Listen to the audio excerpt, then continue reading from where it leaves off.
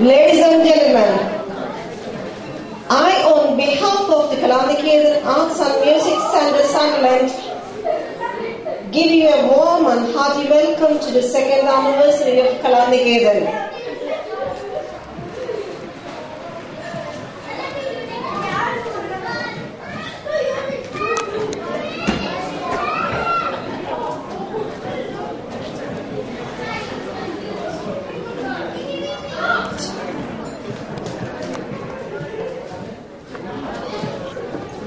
Commencing as a classical dance school with few students in 2009, the Kalanikethan has flourished into an institution of performing arts with around 33 students.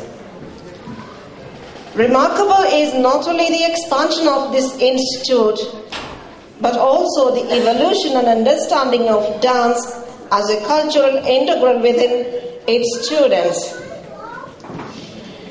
What we strive to achieve with these festive performances is the showcasing of our arts and culture that spans several centuries and to provide you with splendorous entertainment to cherish this as a memorable event. As Indians, religion and spirituality is essential in our lives. We believe an introductory prayer would prove auspicious before any venture. Therefore, I invite one and all to participate in